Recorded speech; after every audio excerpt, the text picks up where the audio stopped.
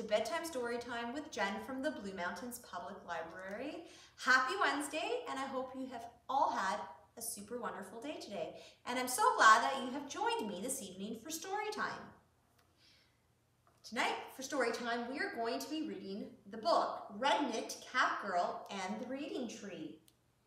And it's about sharing um, stories and books and reading stories and books together with your friends, just like we're doing tonight. So before we get to our story, we're going to sing our hello song, and hopefully you guys remember it from last week. If not, I'll sing it once, and then you guys can go through it with me the second time. So we're going to count to five, and today we're going to count to five in French. Can you remember? I hope so. Let's give it a try. Ready? Un, deux, trois, quatre, cinq. Hello, hello. Can you clap your hands? Hello, hello. Can you clap your hands? I forgot to wave. Can you stretch up high? Can you touch your nose? Now we're gonna stomp our feet. Can you stomp your feet? Can you wave hello? Hello, hello. Can you clap your hands? Hello, hello.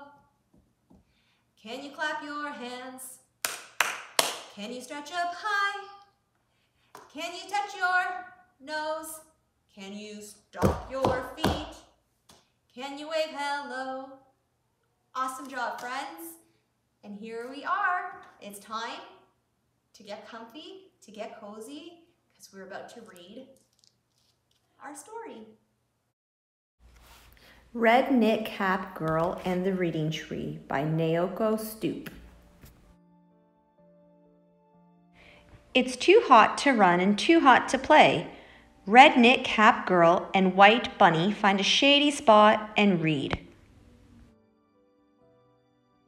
Squirrel wants to show them something, but he won't tell them what. You'll see when we get there, is all he will say. Red knit cap girl and white bunny scamper after squirrel. What a big oak tree, red knit cap girl says when squirrel points.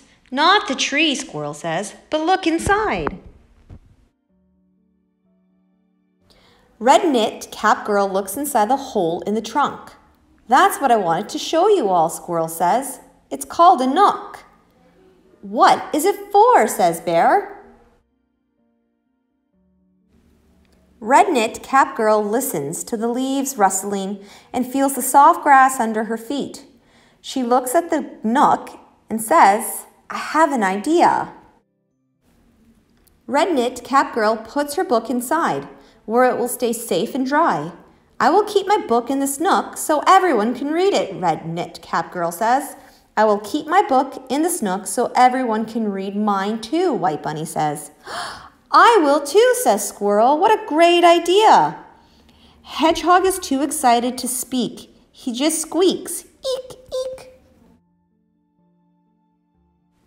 The birds swoop down. We have something to share too. I don't have a book, Beaver says sadly. He wants to share something. Then Beaver gets an idea. He gnaws and hauls with his teeth and thumps with his tail until he's built a strong bookshelf. Everyone admires it. The very next day, Deer brings his book to the nook. Duck follows with her book. Turtle has so many books to share that she carries them on her back. Sly Fox doesn't help. She sneaks to the nook when she thinks no one is looking. How silly they are, leaving all of these books here for me to steal, she says as she takes one. The other animals bring more books to the nook. They read every day until their air turns clear and crisp and cold. It is autumn now, too cold to sit still around the nook. Snuggle under these, the sheep say. They've made warm wool blankets for everyone. Then the nook is even cozier. All summer, all fall, Owl and Moon have been watching Red Knit Cap Girl and her friends. Now it is almost winter. The days are shorter and the dark comes earlier. Owl and Moon talk in hushed voices about what Red Knit Cap Girl and her friends have done. We can help too, Moon says, and she tells Owl how. Owl and Moon work all night long. In the morning, Red Knit Cap Girl and her friends see what Owl has made for them. Red Knit Cap Girl reads the sign out loud. Library, she says. A library is a place where anyone can borrow a book. Red Knit Cap Girl winks at Sly Fox, who smiles shyly back. That night, Moon shines her light on the nook and the friends read. Sly Fox returns the book she took, and Red Knit Cap Girl reads it out loud to everyone. Thank you, Red Knit Cap Girl, says the little ones who can't read yet.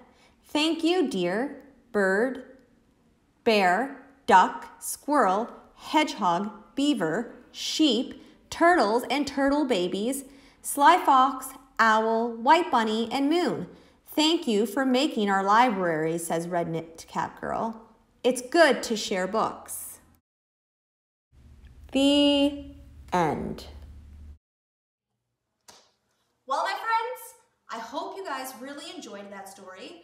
I thought it was a wonderful story to read together. It's, you know, talks about friends coming together, working together, and creating something that makes them all super happy and they can enjoy all of the time. I mean, they create their own little library. How extraordinary is that? I know I really love our library. So before we say goodnight, we're going to sing one more song together and it goes to the tune of Row, Row, Row Your Boat. So let's sing Row, Row, Row Your Boat together just so we can become familiar with it. Ready? Row, row, row your boat gently down the stream. Merrily, merrily, merrily, merrily, life is but a dream. Okay, so the song we're going to learn, it is called Bright Moon. And it's bright moon shining down, shining on the ground. What a lovely face you have, yellow, big and round. One more time, friends, ready? Bright moon shining down, shining on the ground. What a lovely face you have, yellow, big and round. Now we're gonna sing goodbye to one another. Ready? Goodbye, friends. Goodbye, friends. Goodbye, friends. It's time to go to bed. Goodbye, my friends. I'll see you again next Wednesday at 7 o'clock. Bye for now.